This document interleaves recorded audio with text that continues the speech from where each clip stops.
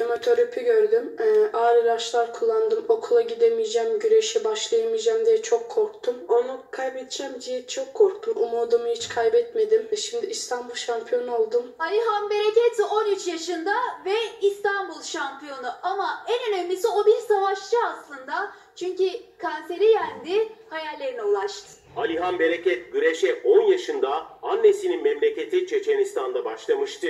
Boynunda bir kitle çıkınca ailesi onu Türkiye'de özel bir hastaneye götürdü. Boynumdaki sertliği görünce çok üzüldüm. Lenfo Burkitt hastalığım var dedi doktora. Tedavi başlayınca vücudunda değişiklikler başladı. Bir yandan hastalıkla savaşırken bir yandan da moralini yüksek tutmaya çalıştı.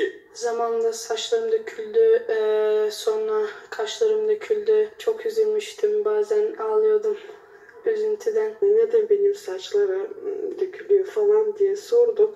Ya onun böyle bir ilaç e, vermiş sana doktor o yüzden e, başladı diye anlattım. Okula gidemeyeceğim, güreşe başlayamayacağım diye çok korktum. Alihan hiç pes etmedi. İlk 6 ayda tedaviye yanıt verdi. Bir yılda da sağlığına kavuştu. Kendisine milli güreşçimiz olimpiyat şampiyonu Taha Akgül'ü örnek aldı.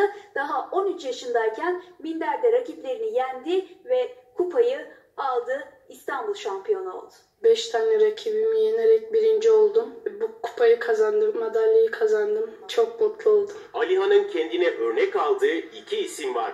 Biri İrlandalı rakibini nakavt eden Dağıstanlı boksör Habib Nurmagomedov. İrlandalı e, rakibini yenerek UFC şampiyonu oldu. O beni çok gururlandırdı. Ben de onun gibi o, ülkeme gurur getireceğim diye kendime söz verdim. Diğeri efsane boksör Muhammed Ali.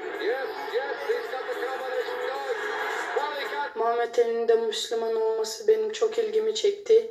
E, hiç yenilmemiş bir boksör. Sağlığına kavuşan Alihan hayallerine emin adımlarla ilerliyor. Şimdiki hedefi Türkiye şampiyonu olabilmek ve ileride olimpiyat şampiyonluğuna kadar yükselebilmek istiyor.